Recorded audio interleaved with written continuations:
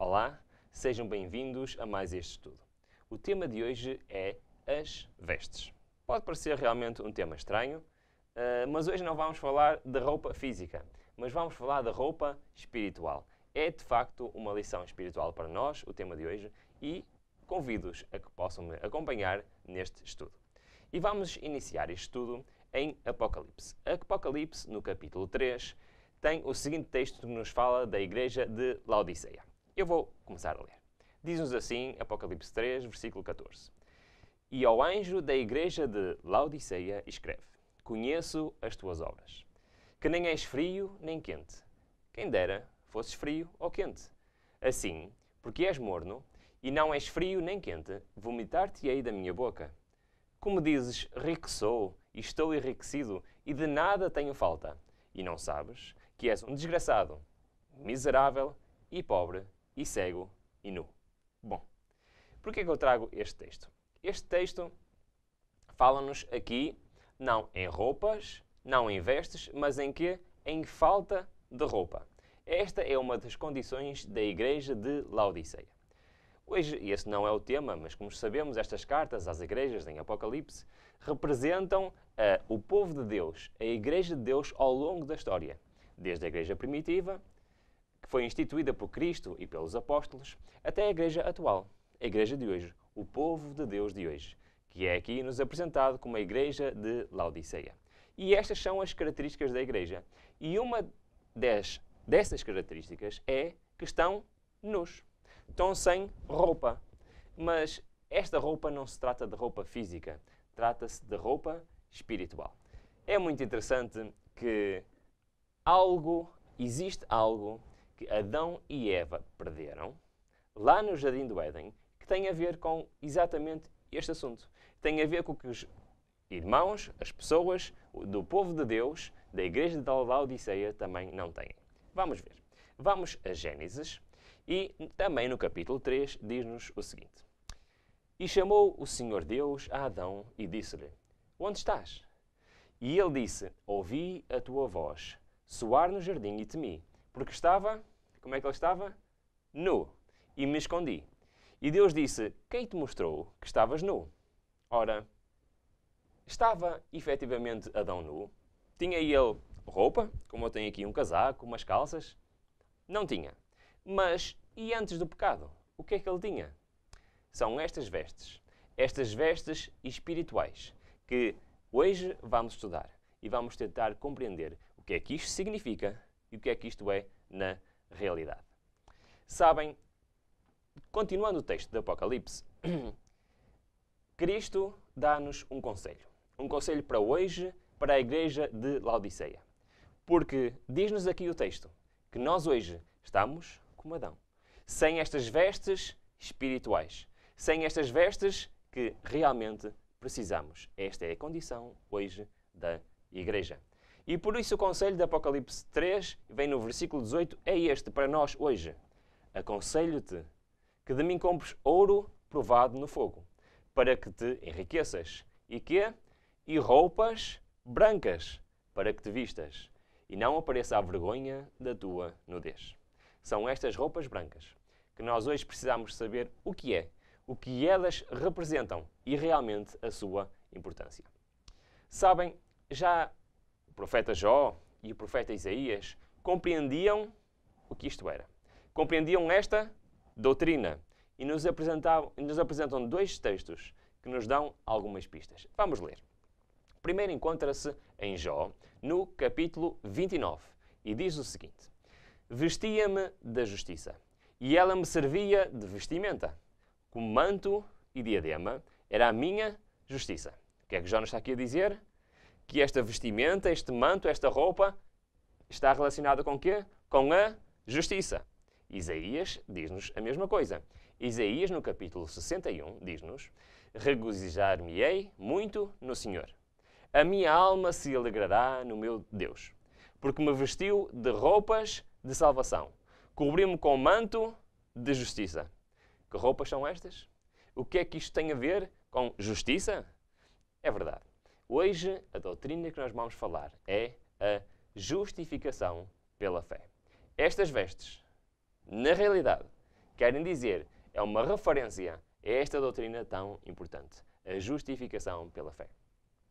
E por isso convido-nos a acompanharem este estudo, onde nós vamos definir o que é a justificação pela fé, onde nós vamos ver o que é que implica na nossa vida a justificação pela fé.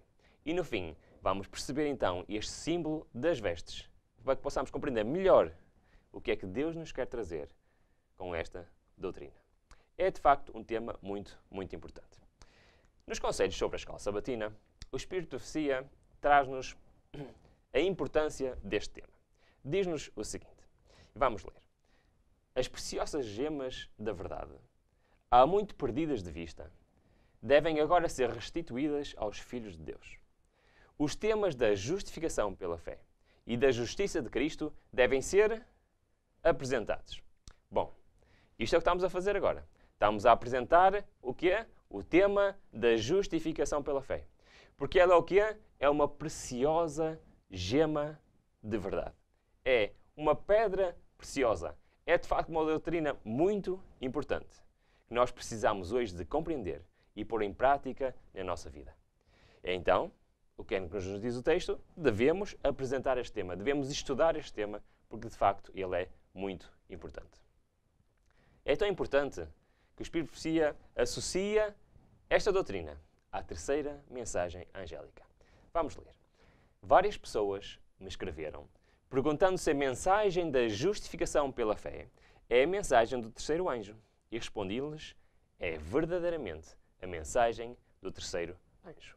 Continuando, nota citação, diz-nos então ainda mais: o tempo de prova está bem diante de nós, pois o alto clamor do terceiro anjo já começou na revelação da justiça de Cristo.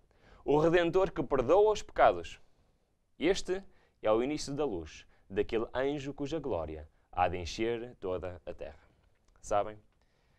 A missão do povo de Deus neste mundo de pregar o Evangelho a todas as nações, a todos os povos, só é possível quando nós, na nossa vida, compreendemos perfeitamente o que é a justificação pela fé e vivemos de acordo e vivermos de acordo com ela. Muitas pessoas, quando se fala deste tema da justificação, acham este tema muito difícil. E de facto é um tema um pouco difícil de compreender. E a Profecia fala-nos mesmo em relação a isto. Reparem o que é que ele diz. Diz assim: a verdade presente, a justificação pela fé. Então, a justificação pela fé é o que é? É a verdade presente. É aquilo que hoje temos de pregar. Esta doutrina é então o que é? É uma mensagem vinda de Deus. Tem credenciais divinas, pois seu fruto é para santidade. Existe uma ligação direta entre a justificação pela fé e a santificação. Hoje vamos ver melhor, mais concretamente, o aspecto da justificação pela fé, mas prometo que em breve vamos analisar concretamente a santificação. Mas elas estão muito ligadas entre si e, ao falar sobre uma, tocamos em alguns aspectos da outra. Mas continuando com o texto, diz assim: há alguns que necessitam grandemente a preciosa verdade lhes foi apresentada. Ou seja, precisamos de apresentar esta verdade da justificação pela fé. E agora reparem o que diz o texto. Não existe um dentre cem que compreenda por si mesmo a verdade bíblica sobre este assunto, tão necessário ao nosso bem-estar presente e eterno. Nem um por cento das pessoas compreendem a justificação pela fé por si mesma. O que é que isto quer dizer? Conseguimos compreender e conseguimos explicar aos outros o que é verdadeiramente a justificação pela fé. A pergunta que eu faço hoje a ti é: qual destes grupos estás? Será que estás no 1% que compreende e consegue explicar a justificação pela fé? Ou estás entre os 99% que não o consegue fazer? Por isto é tão importante. Hoje apresentamos este tema, falamos sobre este tema, porque ele é fundamental para a nossa vida espiritual. Então, outro, Outra citação diz o seguinte: Por favor, peça ao ministro que fale em palavras fáceis, que possamos compreender. Diga-lhes, por favor, que nós não compreendemos palavras compridas como justificação e santificação. Não sabemos o que essas palavras querem dizer. Irmão, amigo, se tu não compreendes a justificação, se tu não compreendes a santificação, então temos que as compreender. Peçam aos vossos líderes, aos vossos pastores, que preguem sobre estes assuntos, porque eles são fundamentais. E são estes assuntos que, devidamente compreendidos, devidamente postos em prática, darão início ao alto clamor, como acabamos de ler.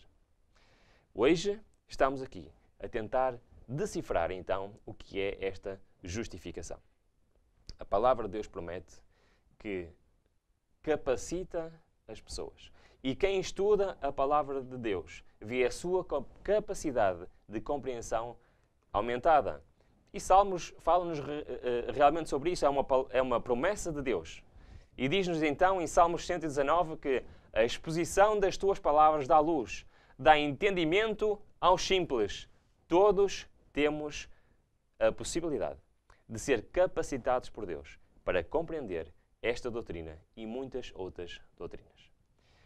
Porque, como nós vimos ao bocado sobre a igreja de Laodiceia, que uma das características que ela tinha é que faltava-lhes esta roupa, a justificação pela fé. E Oseias, no seu texto profético, referindo-se, uh, uh, lançando a visão profética para o tempo do fim, para hoje, para a igreja de Laodiceia, diz-nos realmente que falta conhecimento.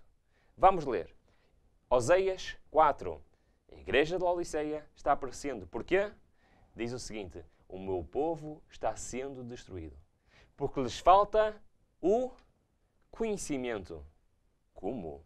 Hoje, na era da informação, onde temos todo o conhecimento à nossa disposição, onde no clique de um rato temos dezenas de versões bíblicas, estudos cruzados, dicionários, todas as aplicações estão à distância de um clique que nos permitem saber tudo sobre a Bíblia e sobre todos os assuntos.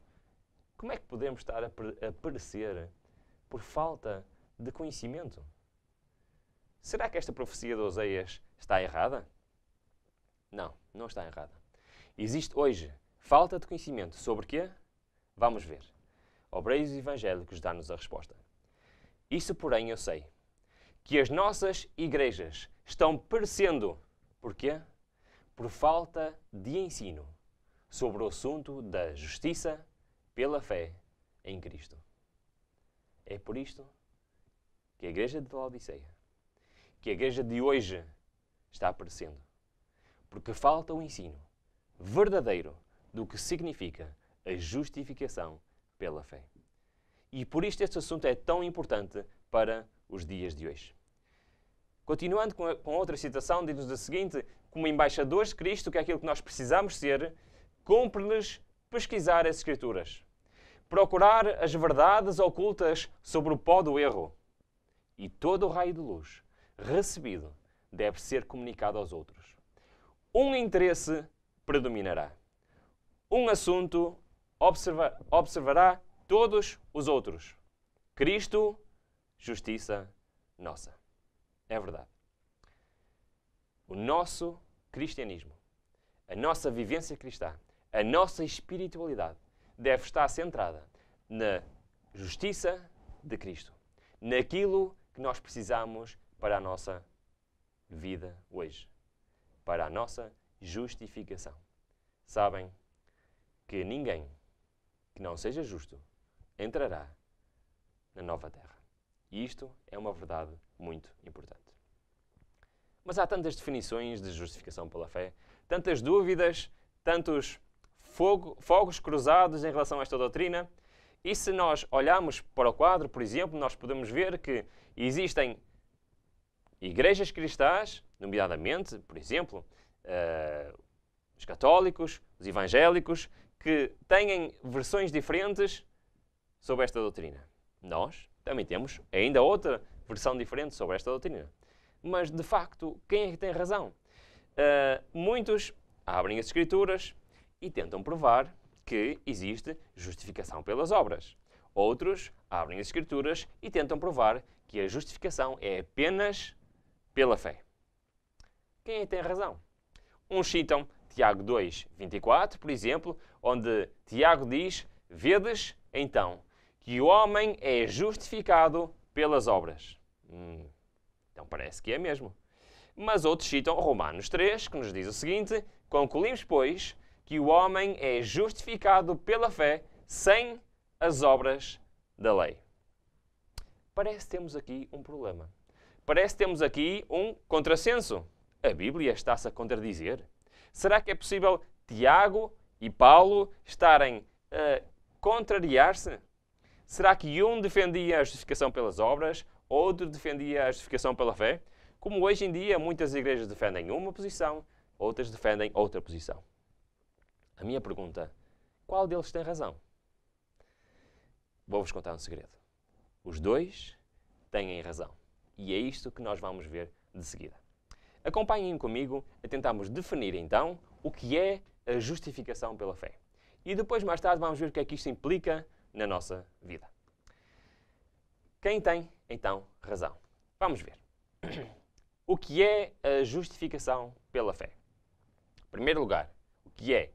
É obra de Deus ao lançar a glória do homem no pó e fazer pelo homem aquele que ele por si mesmo não pode fazer. Já estamos aqui com um problema. Qual é o problema? Então, a justificação é algo que o homem não pode fazer por si, por si mesmo. E a justificação pela fé é algo que Deus faz porque nós não conseguimos lá chegar. Hum. Então parece que a justificação pela fé tem mais lógica que a justificação pelas obras. Será que é assim? Sabem, as nossas obras, de acordo com o profeta Isaías, são o quê? Vamos ler? Todas as nossas justiças são trapos da imundícia. É uma realidade. Se Deus não trabalhar em nós, a nossa justiça é o quê? Trapos de imundícia. Mas o que é que isto quer dizer? Sabem que em Apocalipse 17, quando fala daquela igreja que Apocalipse chama de Babilônia, aquela mulher vestida de púrpura que representa a igreja de Roma e as suas falsas doutrinas, ela diz o texto diz-me algo de interessante. É que refere exatamente esta palavra que Isaías estava a referir, imundícia. Olha, vamos ler. Diz assim, Apocalipse 17, 14. A mulher estava vestida de púrpura e de escarlata, e adornada de ouro, pedras preciosas e pérolas. E tinha na mão um cálice de ouro cheio de abominações e que? E da imundícia da prostituição. Então, imundícia, como vimos no, no profeta Isaías, estava relacionado com a justificação própria, a justiça própria, ou seja, o acreditar na doutrina da justificação pelas obras. E não é, então, este um dos pilares desta igreja. Aceitar que nós podemos fazer alguma coisa para merecer a salvação. E com isso vendem indulgências, vendem perdão. Com isso as pessoas fazem promessas, caminham dezenas de quilómetros a pé, caminham de joelhos à volta de igrejas, porque acham pelas suas obras vão ser justificados. A Bíblia diz que a justiça própria são como trapos de imundícia. E esta doutrina hoje ainda é pregada em muitas igrejas cristãs ao redor do mundo. E de facto vemos que este é um dos enganos de Satanás. Fazer as pessoas acreditarem que pelas suas obras podem ser justificados. Mas Paulo, em Romanos 8, começa-nos a desmistificar um pouco como é que isto funciona. Uh, desculpem, Romanos, capítulo 3. Vamos ler a partir do versículo 22. Isto é, a justiça de Deus, pela fé em Jesus Cristo, para todos e sobre todos os que creem, porque não há diferença. Porque todos pecaram e destituídos estão da glória de Deus. Então o que é que acontece? a única maneira de nós sermos justificados pelas obras é se nunca tivéssemos pecado. Hum? Como é que é? Exatamente. Se eu nunca tivesse pecado, eu estava justificado pelas obras. E eu não precisaria de Cristo na cruz a morrer por mim, porque eu não teria pecado para ser perdoado. Mas há um problema: é que eu sou pecador.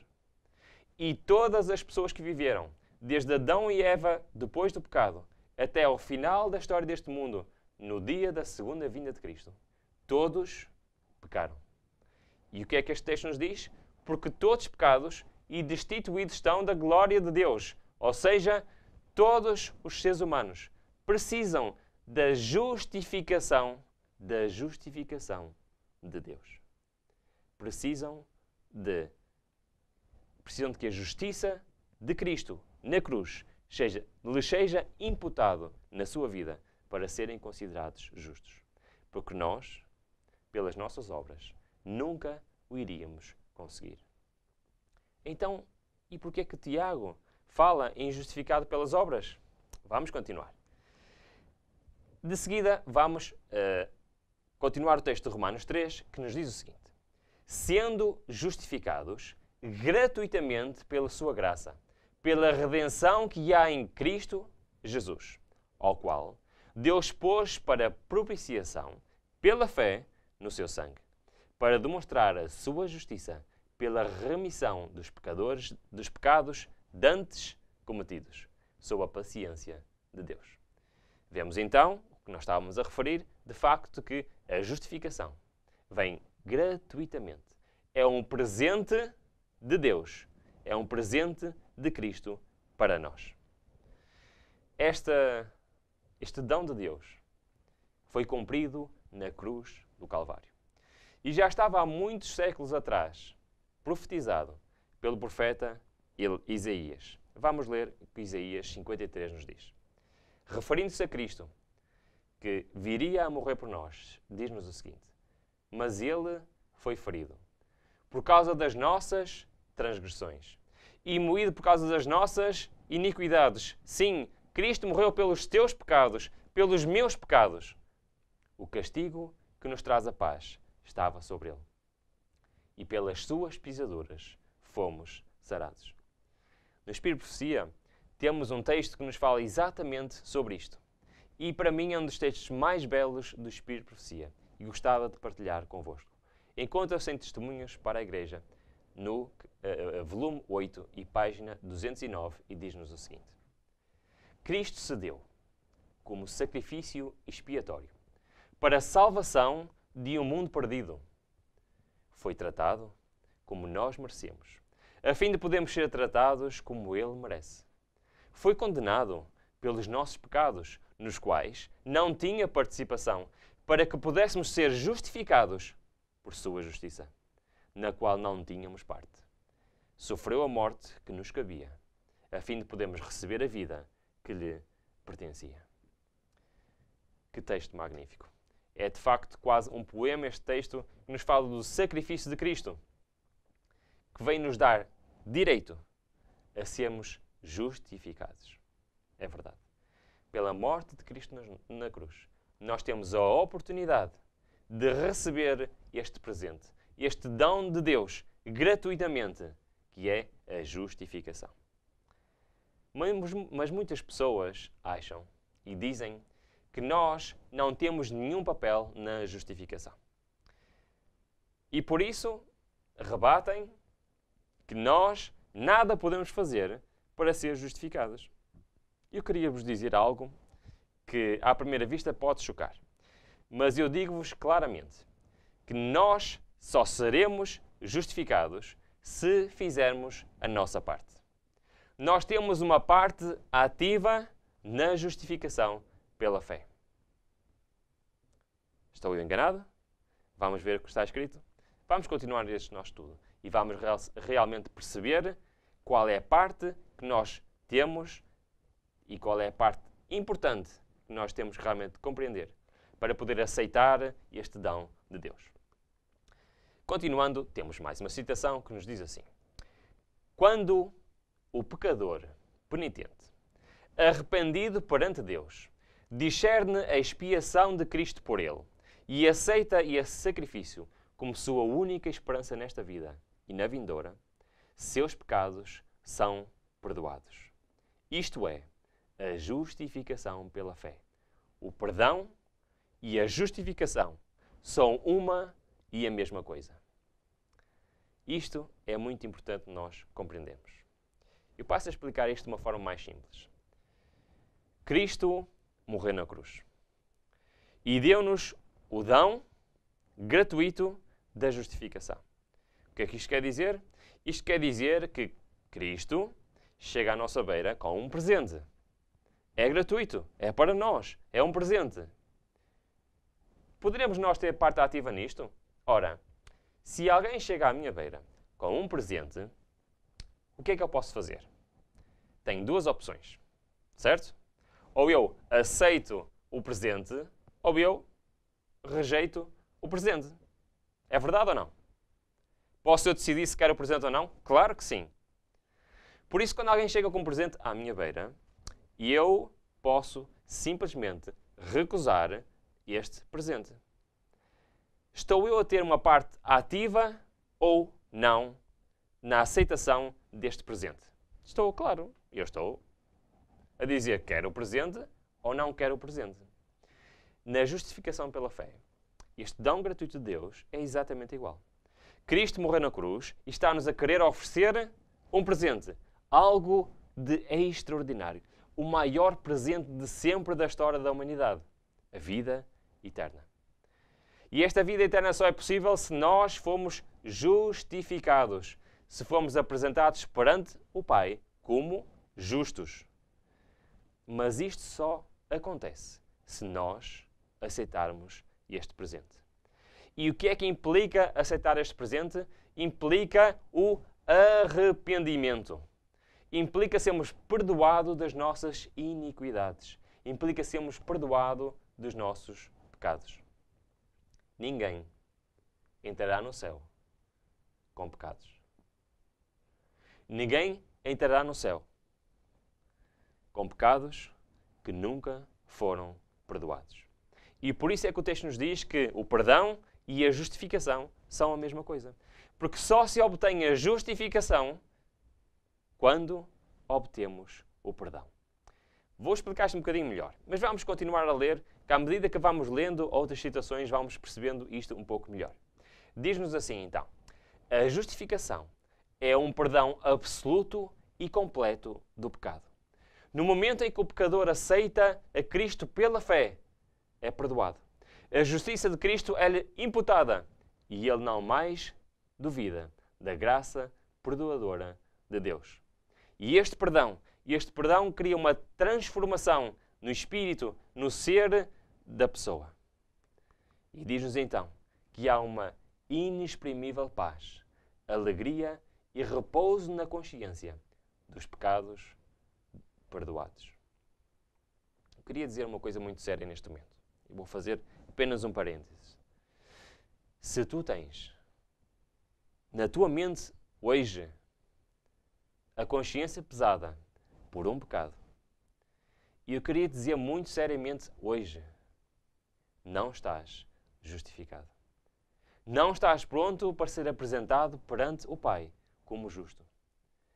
Para que o possas ser, a tua consciência tem que estar em repouso e tens que obter perdão para esse pecado. Por isso, neste momento, se a tua consciência, consciência te pesa em algum aspecto, dobra os teus joelhos perante o Senhor. Pede perdão para esse pecado. E a sua graça, este dão gratuito, o perdão será uma realidade na tua vida. E estas palavras serão uma realidade na tua vida, pois a paz, a alegria e o repouso na consciência está presente naqueles que são perdoados por Deus e que aceitam a justificação pela fé. Continuemos para o próximo texto que diz o seguinte: Todo cristão verdadeiro será forte, não na força e mérito das suas obras, mas na justiça de Cristo, que lhe foi imputada através da fé. É verdade. Nós só recebemos a justiça, a justificação pela fé. Mas nós temos uma parte ativa neste processo. Não é simplesmente dizer, muito bem, eu aceito o sacrifício de Cristo na cruz e está resolvido. Estou salvo. Não é assim que funciona. Implica algo na nossa vida. Implica também mudança na nossa vida. A cruz de Cristo testifica da imutabilidade da lei de Deus. Testifica de que Deus de tal maneira nos amou que deu seu Filho para morrer por nossos pecados. Cristo, porém, não veio para destruir a lei, senão para cumpri-la. Nem um jota ou um til do padrão moral de Deus podia ser mudado para vir ao encontro do homem em sua condição de caído. Jesus morreu para que pudesse imputar ao pecador arrependido a sua própria justiça e tornar ao homem possível guardar a lei. Então nós vemos que existe uma relação direta entre a justificação e o cumprir a lei. Sabem, a justificação vai muito mais além. E aqui temos também a relação entre a justificação e a santificação. Porque para sermos justificados, isto implica uma mudança na nossa vida. Porque o verdadeiro arrependimento só é arrependimento se levar a uma mudança. Quando nós estudarmos depois, uh, no outro dia, sobre a santificação, vamos poder, poder uh, compreender melhor o que é este conceito. O que é, por exemplo, uma vida de pecado e simplesmente um pecado. São coisas diferentes. Mas o que eu queria salientar aqui é que alguém que é justificado, que é justificado pela fé, tem que ter uma mudança na sua vida. Porque o verdadeiro arrependimento implica uma mudança, ou seja, não voltar a cair na mesma tentação. E se isto for a realidade numa vida no cristão, se num ponto nós conseguimos ultrapassar e noutro ponto conseguimos ultrapassar, isto chama-se a caminhada da santificação. Mas isto implica também que esta pessoa irá receber a justificação pela fé. Isto pode parecer um bocado abstrato, mas já vamos tentar desmistificar um pouco isto. No Desejar Todas as Nações, diz-nos o seguinte: Por sua vida e morte, provou Cristo que a justiça divina não destrói a misericórdia, mas que o pecado pode ser perdoado e que a lei é justa, sendo possível obedecer-lhe perfeitamente. Muitas pessoas não acreditam que é possível obedecer à lei. Mas a justificação pela fé implica obedecer à lei. Então nós vemos aqui uma, um elo de ligação entre o que Tiago diz e o que Paulo diz. E entre aquilo que muitas pessoas dizem que é a justificação pelas obras e aquilo que muitas pessoas dizem que é a justificação apenas pela fé. Vemos que as duas coisas estão relacionadas. E agora vamos ver então a definição completa da justificação pela fé. E podemos compreender todos estes conceitos que fomos vendo ao longo deste estudo e podemos juntá-los todos e perceber então o que é a justificação pela fé.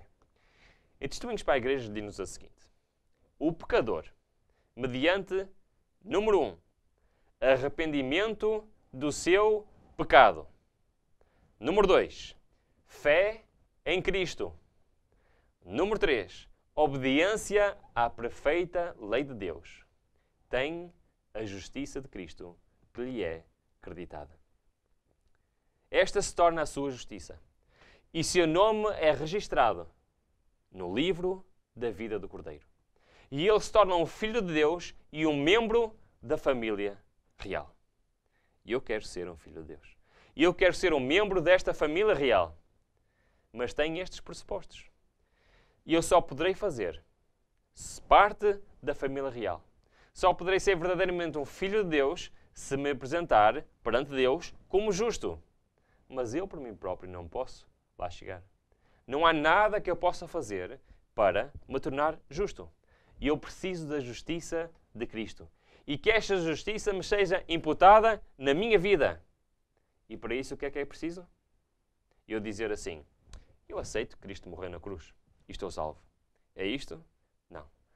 Que é que nos, o texto nos diz? A definição completa? Afinal, Tiago tinha razão e afinal, Paulo tinha razão. Porquê? Porque é preciso realmente este pacote completo. Primeiro, arrependimento dos meus pecados. Segundo, acreditar que o sacrifício de Cristo na cruz é suficiente para perdoar os meus pecados quando eu me arrependo. Terceiro, obediência à lei de Deus. Só com este pacote completo, só com esta visão, é que realmente nós podemos ter a justiça de Cristo imputada na nossa vida. Sabem, sempre que eu peco, sempre que eu faço algo contra a lei de Deus, automaticamente eu perco esta justificação. E por isso não é salvos uma vez, para sempre, mas é um processo, como vamos ver. Mas vemos aqui realmente a ligação entre a justificação pela fé e o obedecer à lei de Deus. Esta citação diz-nos então que a sua justiça, ou a justiça de Cristo, é imputada somente aos que obedecem. É impossível sermos justificados por Deus se não obedecermos à sua vontade. Então, compreendemos, se calhar, melhor agora esta citação que nos diz: A fé genuína se manifestará em boas obras. Pois boas obras são o fruto da fé. Ao operar Deus no coração e entregar o homem sua vontade a Deus e com ele cooperar, ele manifesta na vida aquilo que Deus operou em seu íntimo pelo Espírito Santo. É pela contínua entrega da vontade, pela obediência contínua, que se retém a bênção da justificação. Então, se nós podemos reter, desculpem, a bênção da justificação, o que é que isto significa? Significa que a podemos perder. Por isso não é salvos uma vez para sempre, mas sim um processo contínuo.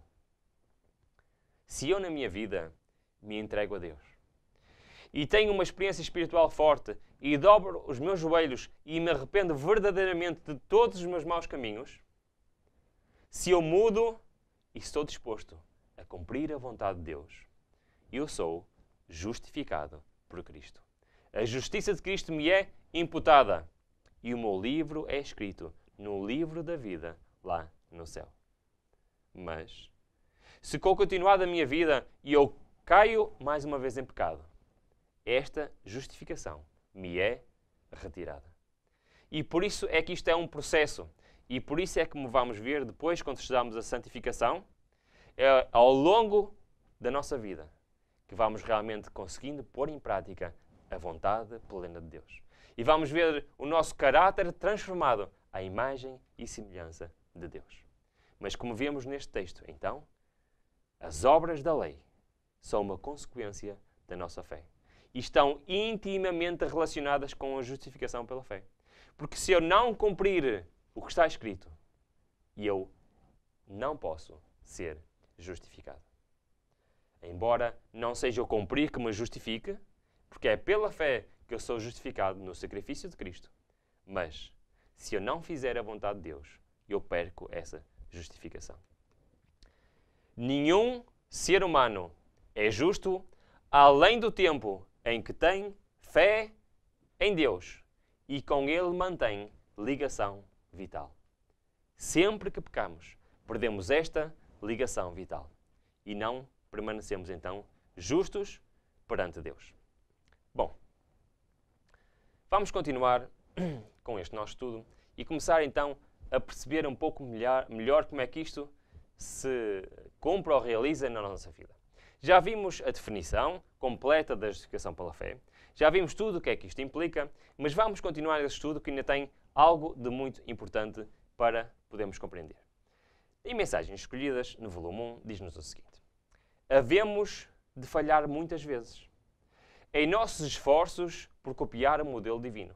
Mas não nos devemos desanimar, sempre orar mais fervorosamente. Querer mais plenamente e que e tentar de novo, com mais constância. E assim, vamos o quê? Vamos crescer na semelhança de nosso Senhor. É efetivamente isto algo de extraordinário na nossa caminhada espiritual e na nossa justificação pela fé. É que a oração é fundamental.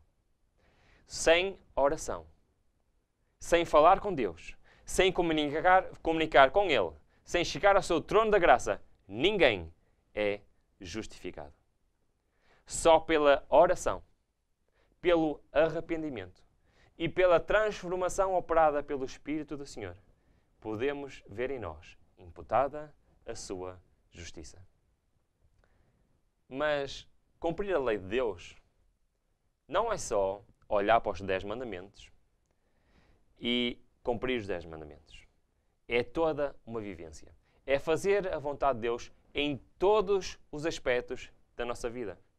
Sabem que Tiago, capítulo 4, versículo 7, nos diz: Se tu sabes fazer o bem e não o fazes, isso, esse, essa pessoa faz o quê? Comete pecado.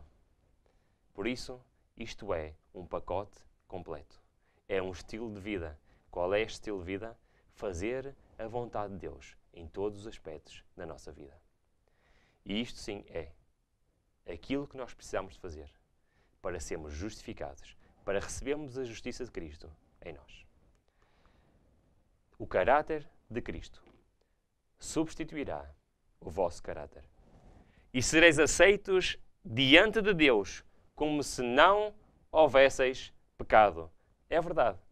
Quando vem o arrependimento, quando vem a transformação, quando nos é imputada a justiça de Cristo, é como se nunca tivéssemos pecado. E logo somos apresentados como justos perante Deus. Constantemente se processa uma renovação moral. Ao continuarem a, com, a contemplar a Jesus, conformam-se eles com a sua imagem e neles são achados completos, não tendo a sua própria justiça, mas a que há em Cristo, nosso Senhor. É isto que nós nos temos que apropriar da justiça do nosso Senhor. Paulo, no capítulo 6, diz-nos o seguinte: de Romanos, diz-nos o seguinte: Mas agora, libertados do pecado e feitos servos a Deus, temos o vosso fruto para a santificação e, por fim, a vida eterna. Paulo compreendia perfeitamente o que era esta justificação pela fé. Tiago compreendia perfeitamente o que era a justificação pela fé. É verdade que ambos explicam melhor uma parte, o outro explica melhor a outra parte. Mas tudo isto é a justificação pela fé. Mas, como eu dizia ao bocado, sem oração não há justificação. Lemos então no texto que diz: Se, porém, oram em sinceridade, entregando-se de corpo e alma e espírito a Deus. Colocam toda a armadura de Deus e abrem o coração à justiça de Cristo. E a ela unicamente, unicamente a imputada justiça de Cristo os torna capaz de subsistir contra as astutas ciladas do diabo. A obra de cada pessoa é resistir ao inimigo na força e poder do Senhor Jesus Cristo. E a promessa é que o diabo fugirá de vós. Lembram-se que nós uh, começámos este estudo a falar de vestes. Falar de roupa, roupa espiritual, que faltava na igreja de Laodiceia, que nos falta hoje, a nós. Já alguma vez pensaram porque é que Adão não estava nu antes do pecado? Porque ele tinha as vestes da justiça de Cristo. E por isso é que a Bíblia nos apresenta muitas vezes a justificação pela fé, numa forma simbólica, para que nós possamos realmente compreender melhor o que é que isto quer dizer. E o que é que têm estas vestes a ver com isto? Deus dá-nos estes símbolos para, na nossa mente, perceber mais facilmente estas doutrinas difíceis. Ele dá-nos um exemplo, este exemplo encontra-se em Mateus 22. Vamos ler. O reino dos céus, por isso estamos a falar de algo espiritual, e aquilo que nós almejamos é um dia estar no reino dos céus. O reino dos céus é o que é? É semelhante a um certo rei que celebrou as bodas de seu filho. E o rei, entrando para ver os convidados, viu ali um homem que não estava trajado com vestes nupciais. Ou seja, neste exemplo, nesta parábola, o rei chegou, viu os convidados, estava ali um homem que não estava vestido apropriado. E mais, e disse-lhe, amigo, como entraste aqui? Não, não tendo veste nupcial. E ele emudeceu, ou seja, nada respondeu. Disse então o rei aos servos: Amarrai-o de pés e mãos, e levai-o, e lançai-o nas trevas exteriores. Ali haverá pranto e ranger de dentes. Porque muitos são chamados, mas poucos escolhidos. Aqui o texto faz-nos outra vez a transição espiritual para o tempo do fim, em que um dia aqueles que não serão apresentados justos serão então lançados nestas trevas exteriores, onde haverá pranto e ranger de dentes. Mas o que é que isto quer dizer? Porque é que a Bíblia nos apresenta roupa como algo que tem a ver com a salvação? Vamos ler. Deem a Deus a mais preciosa oferta que lhes é possível oferecer. Deem-lhe o coração.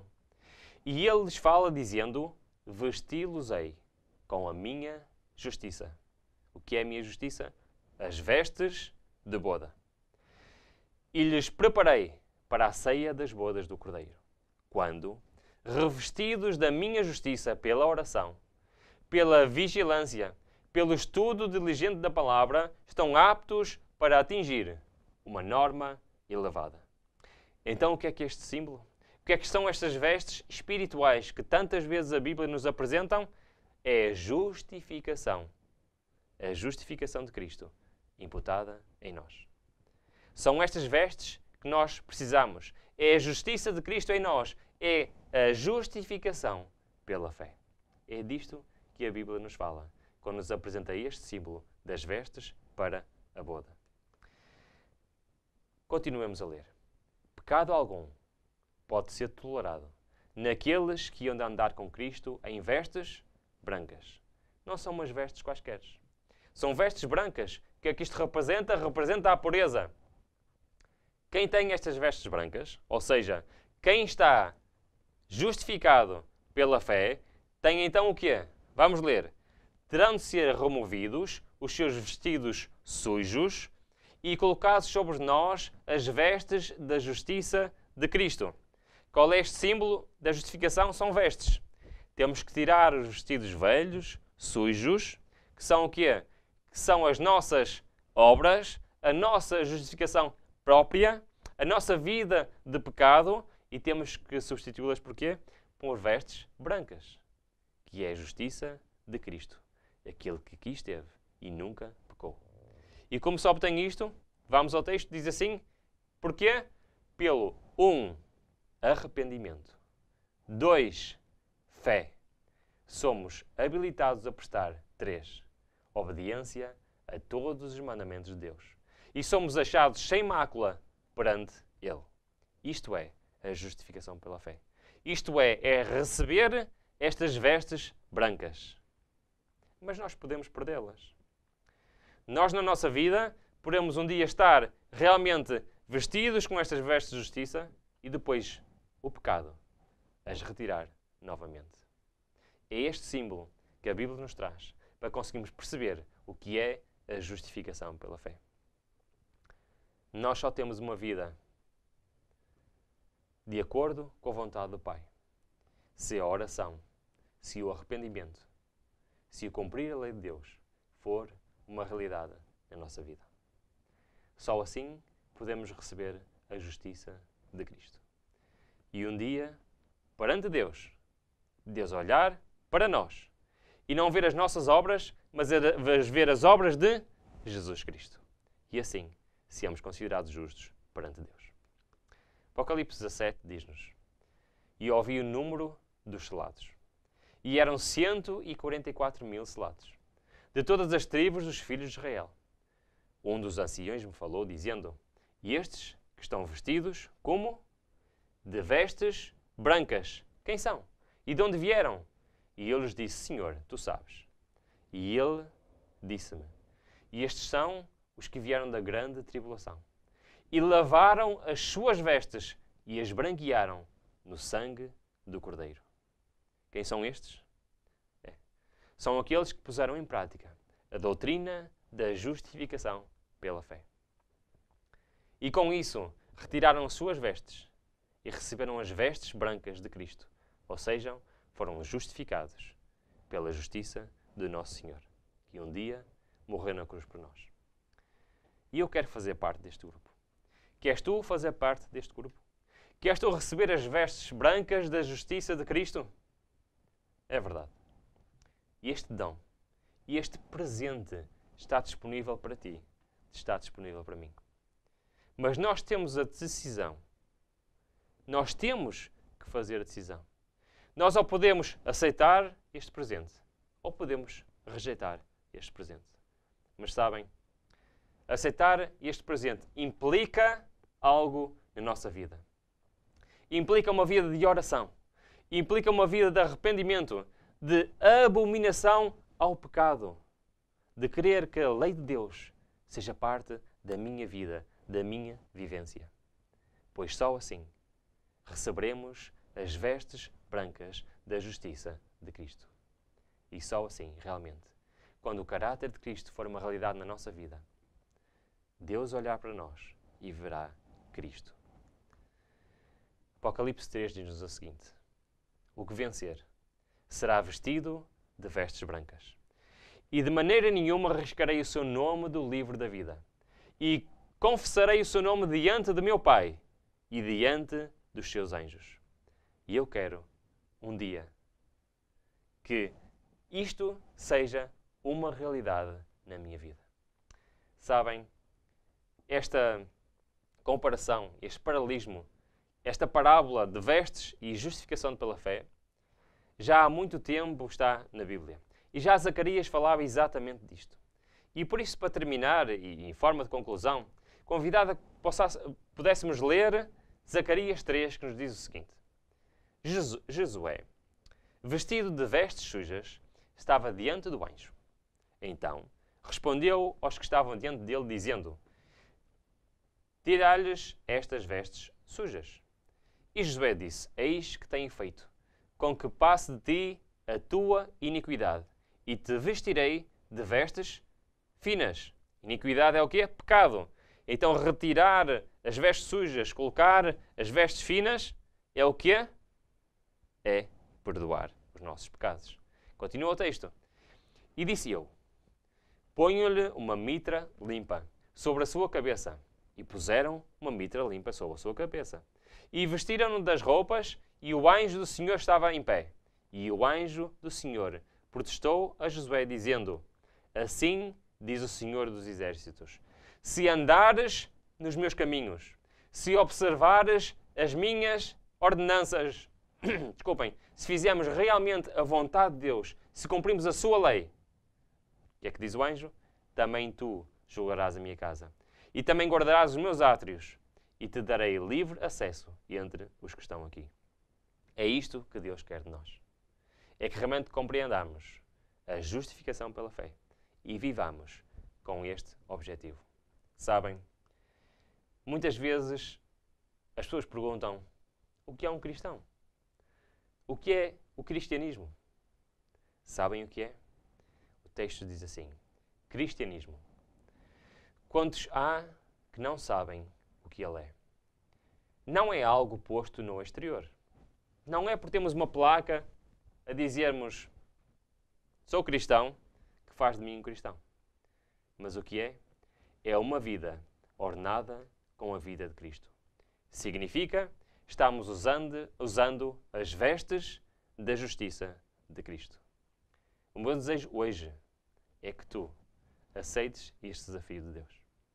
Aceites viver uma vida de acordo com a Sua palavra, de acordo com a Sua vontade. E possas, então, vestir as vestes de justiça de Cristo. E pela nossa fé no sacrifício de Cristo, semos então justificados e sermos então realmente transformados e revestidos e nos seja imputada a justiça de Cristo. É o meu desejo para ti hoje, é o meu desejo para mim. Amém.